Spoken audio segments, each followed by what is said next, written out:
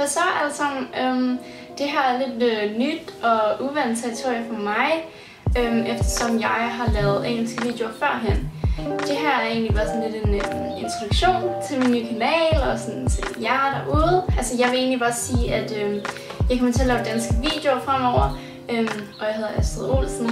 Øhm, men ja, velkommen til jer, som måske er nye danske subscribers, øhm, og hej igen til alle jer, der har fulgt med, lavet engelske videoer. Der kommer, altså jeg kommer bare til at lave øh, tøj og makeup videoer, og ja, altså tag videos og challenges og sådan noget. Øhm, og så her de næste par dage, så kommer der måske et par vlogs op på min kanal, eftersom jeg skal til Hamburg med min klasse. Jeg skal på en slags øh, studietur. Øhm, og hvis I kender Luke Living, så øh, kommer hun nok også til at lave vlogs, fordi vi går i klasse sammen. Øhm, så det kommer vi ligesom til. Vi kommer nok til at lave nogle vlogs sammen.